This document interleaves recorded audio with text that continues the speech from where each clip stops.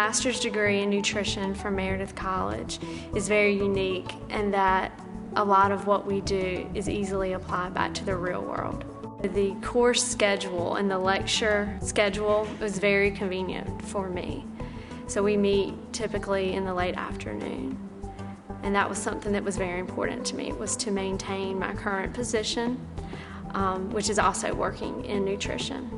I also was eager to work with the, the faculty. They're very accessible, knowledgeable, and they have expertise in a variety of areas related to nutrition.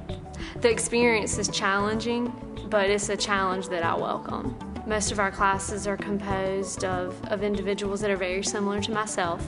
We have a passion for nutrition, we have an interest in it, and we have interest in the classroom as well as outside the classroom. The class sizes are small, and we do a lot of work together as a team or group projects and our professors guide us in those. We end up with a, a team effort and an outcome that's possibly better than if we had worked on it individually.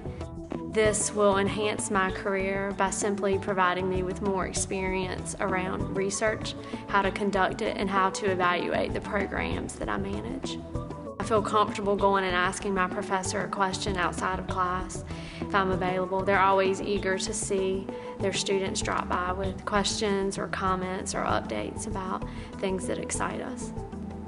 I also enjoy the the different types of classes that you, that you can choose, the electives, which are outside of your, your core classes. Once again, they just help to round out your experience and supplement your knowledge base. So, returning to the classroom and working with my classmates and the faculty here has reminded me why I chose this as a profession.